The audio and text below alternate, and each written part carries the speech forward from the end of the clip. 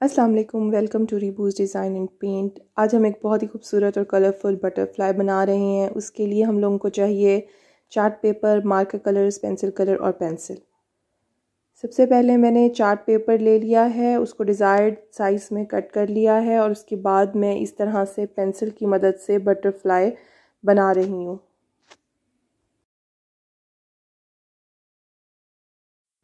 ये बहुत ही इजी और जो है कलरफुल सी बटरफ्लाई बनेगी।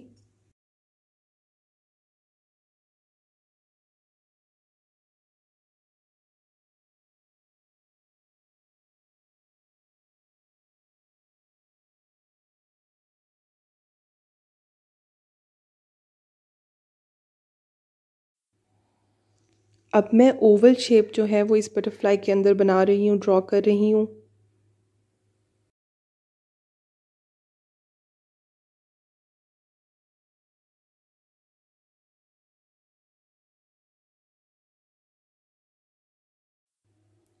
अब ब्लैक मार्कर की मदद से मैं इस पूरी बटरफ्लाई को आउटलाइन दे रही हूँ ताकि जो है फिर हम इसमें कलर्स कर सकें।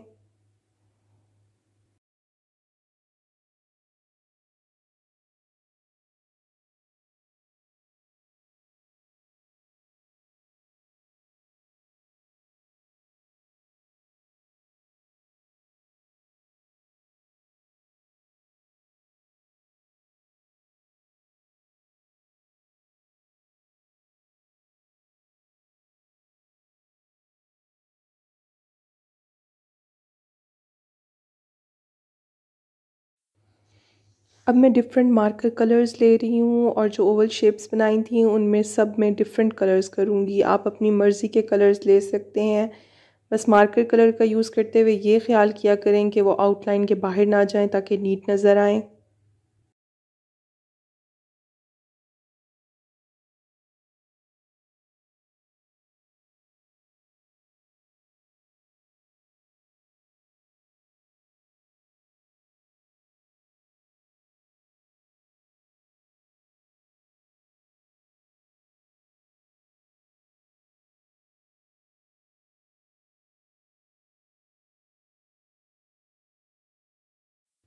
ये इस तरह से मैंने रेड कलर किया है।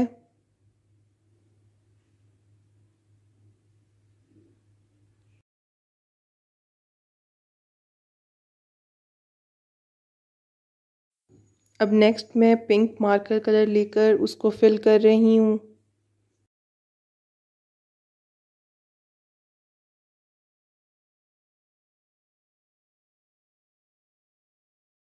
इसी तरह से मैं सेम येलो कलर लेके फ़िल कर रही हूँ और बाकी तमाम कलर्स को भी इसी तरह से फ़िल कर लूँगी।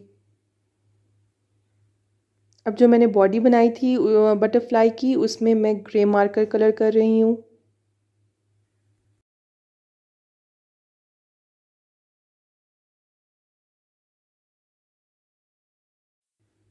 अब मैंने जहाँ पे मुझे वाइट स्पेस ज़्यादा नज़र आ रही थी, वहाँ पे मैंने मार्कर कलर्स की मदद से ही सर्कल्स ड्रॉ करके उनमें कलर कर लिया था।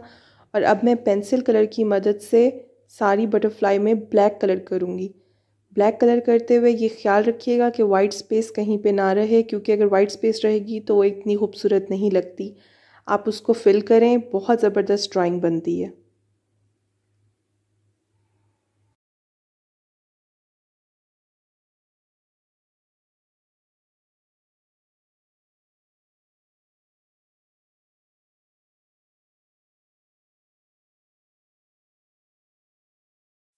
अब मैंने चार्ट पेपर को बटरफ्लाई और फ्लावर पेपर पंच से पंच कर दिया है।